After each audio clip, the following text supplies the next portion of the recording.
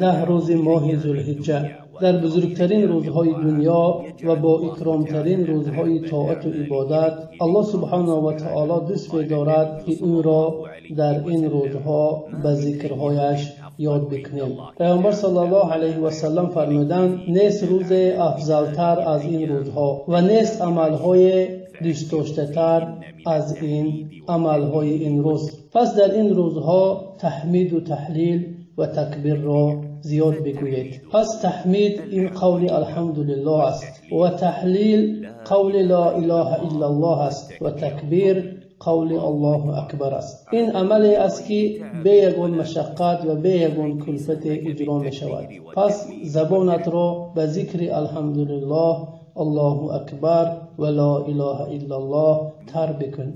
این روزها یعنی ده روز اول ماه ذوالحجه бузургтар аз шабҳои охири моҳи шарифи рамазон аст.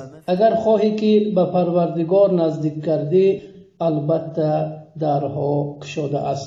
Дар ин даҳа амалҳои солеҳе бикунем. Аз ҷумлаи намозҳои фарзиро дар вақташ адо намоем рӯзаи нафлӣ дорем садақа бидиҳем. Қавли ло ҳавла вала қуввата илло биллоҳро бисёр бигӯем. Ҳамроҳи муаззин аз онро такрор бикунем.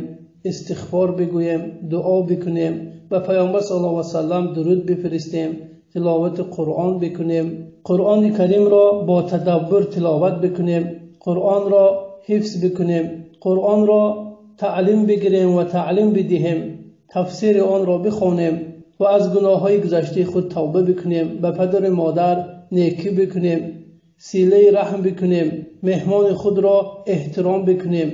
бо ҳамсояҳои худ некӣ бикунем бо ҳамдигар салом бидиҳем хушрафтор бошем намози шаб бихонем суннатҳои робитаро фаромӯш накунем намози зуҳо бихонем зикри субҳу шомро фаромӯш накунем бо таҳорат бихобем ғусли рӯзи ҷумъаро фаромӯш накунем хушбӯӣ бизанем ба масҷид биравем нарми ором бошем кушодарӯ бошем хашму ғазаби худро фурӯ бибарем باشیم خشم و غضب خود را فرو ببریم به وعده وفا بکنیم و بعد تهارت دو رکعت نماز بخوانیم این عملهای است که اجر و ثواب زیاد دارد از پروردگار میپرسیم که عبادتهای ما را به درگاهش قبول گرداند لا تنسوا الاشتراك بقناتنا باليوتيوب